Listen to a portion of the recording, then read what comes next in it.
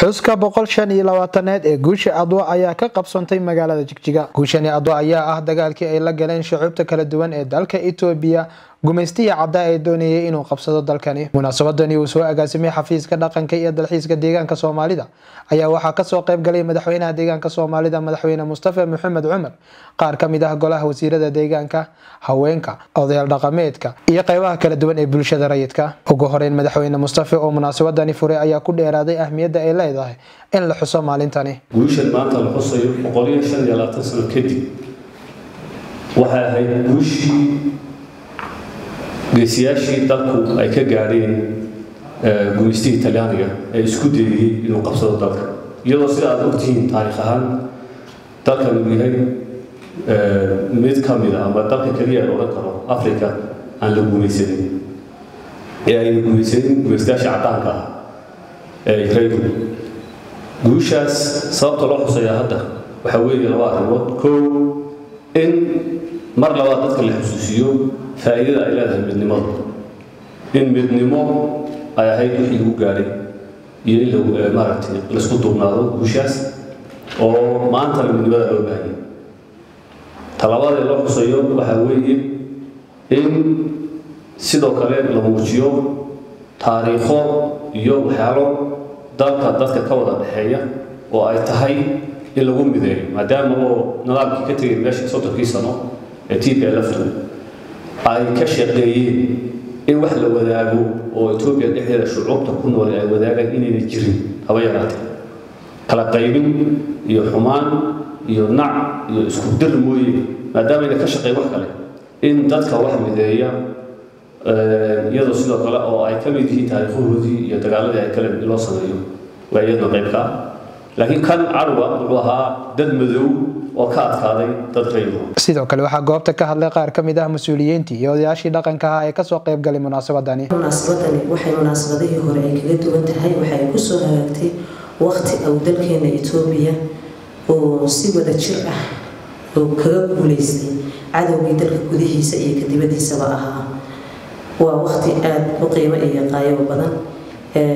Halgankan taariikhda waa laga sheekeyn doonaa sidii la sheegayna geesiyaal badan iyo halgamayaal fara badan oo soomaaliyeed baa kaalinta hore kaga jirayay oo taariikhdan maguurtaanka ah keenay halgamayaashii soomaaliyeed oo aada u tiro badan. Taasaa waxa inaga maanta ay inoo tahay maalmaha kale oo dhan ka qiimo badan.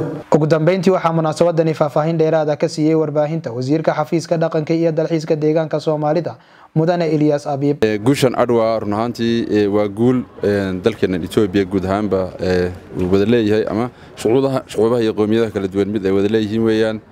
Sanadkan sanadadii hore waxay kaga duwan tahay qaab heer qaran baa loo xusi jiray laakiin sanadkan waxaa loo xusay in deegaanaduna ay qayb ka noqdaan xuskaas oo laga bilaabo bishan iyo kaatiid koob iyo tobankeedii ilaa dhowr iyo labaatankeeda. Deegaan weliba maalin buu xusi doonaa. Maanta innaga waxaa halkan lagu xusay sagaaliyo tobanka bisha iyo kaatiid oo loo qorsheeyey deegaankeenna in lagu xuso. Islamarkaana haldhig looga dhigay guusha adwa waa astaanta midnimada qarnimadeenna taas oo muujinaysa midnimadu inay waxyaaba fara badan ay ka turjumayso.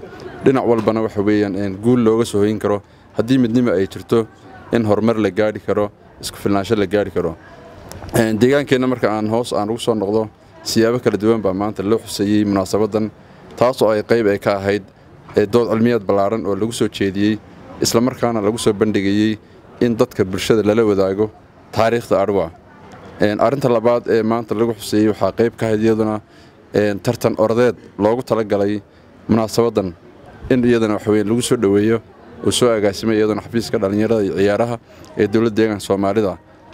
Run ahaantii waa arrin muhiima in waxa weeyaan taariikhdaada aad wax ka ogaato islamarkaana aad wax ka barato gaar ahaan dhallinyarada maanta. Gumaystayaashii reer yurub markii waxa weeyaan ay qaybsadeen qaaraddan afrika waxaa qayb ka ahaa gaar ahaan marka la yidhaahdo geeskan afrika.